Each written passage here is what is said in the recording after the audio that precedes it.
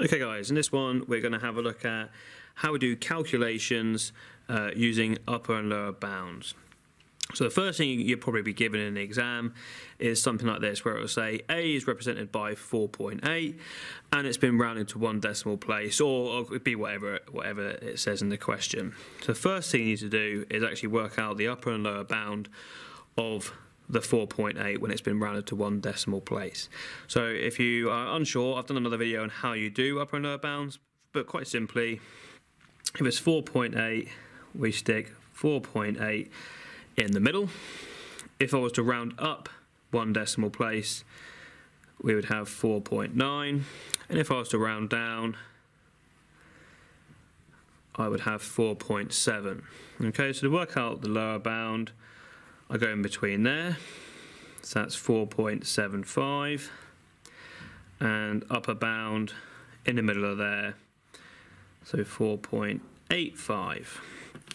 And I usually give you two because that's what we're going to be doing calculations with in a minute. So that was for A. For B here, 2.4 rounded to one decimal place. Again, it could be anything. Just have to read the question. So 2.4 in the middle, rounding up. 2.5 rounding down 2.3. So in the middle there will give me the lower bound. So 2.35. In between there will give me the upper bound.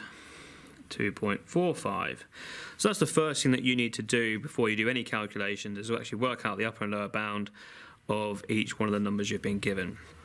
Now, different things that you could be asked. You could be asked to times them, add them, subtract them, or divide them. And it might want you to work out the lower bound of that calculation or the upper bound of that calculation and so on and so forth. So all I'm going to do here is just illustrate what you need to do in these particular circumstances. So let's start off with timesing them. And we want the lower bound when we times them. So the lowest possible value you can get when you multiply these two together. So this one's actually quite nice and easy, so is the adding one, is what you expect it to be. To work out the lowest value, you do the lower bound times by the lower bound. And in this case, it's 4.75 for A times by 2.35 for B. I'm going to get my calculator out here. So 4.75 times by 2.35 is going to give me 11.1625. Okay and that's going to give me the lower bound. That's the absolute minimum value that this can have when I multiply the two numbers together. Upper bound, you probably guessed it, is the upper bound of both of them uh, when we times them together, in which case that's going to be 4.85 for A times by the 2.45 for B. And again, I'll get my calculator out. 4. Point, uh, oh, sorry, 4.85 times 2.45 and oh, I'm not going to squeeze that in so 11.8825 okay. When we add them again just as expected if I want to get the lowest possible value when I add them it's going to be the lower bound plus the lower bound. So again 4.75 plus 2.35. I'm just going to use the calculator again, save me making a mistake by trying to rush this and doing it in my head, which is 7.1. And the upper bound, just as expected, again, you want the absolute maximum this can be when you add them together. Upper bound plus upper bound, so 4.85 plus 2.45 Again, I'll just use a calculator just to avoid any mistakes. 7.3. Okay, so don't forget you can use the in error interval, which is what I mentioned in my other video, where you can use your inequalities to represent the lower bound and the upper bound, but I haven't really got space for that at the minute. Now this is where it gets a little bit trickier.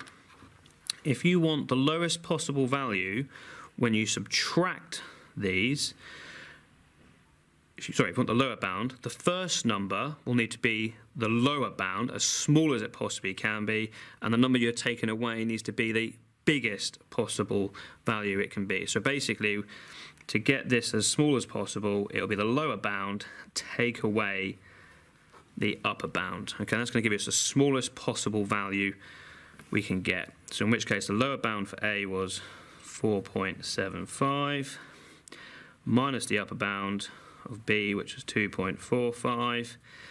So again, let's do that. 4.75, take away this time 2.45,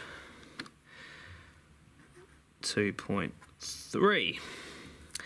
And if you want the absolute maximum it can be, so the upper bound, when you take these away, your first number needs to be as big as possible, so your upper bound, and then the number you're taking away, so in this case B, needs to be as small as possible, so it's the lower bound. So upper bound for A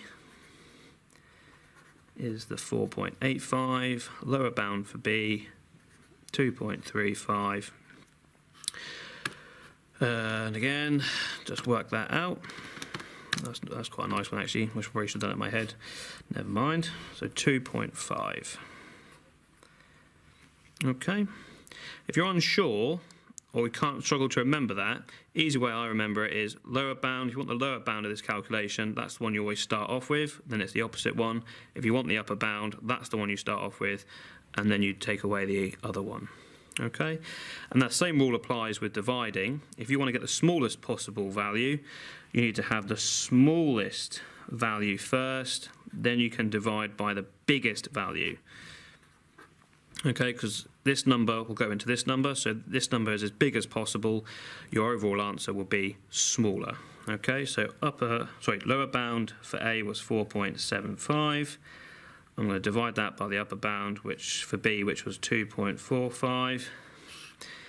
So let's have a look at that. 4.75 divided by 2.45.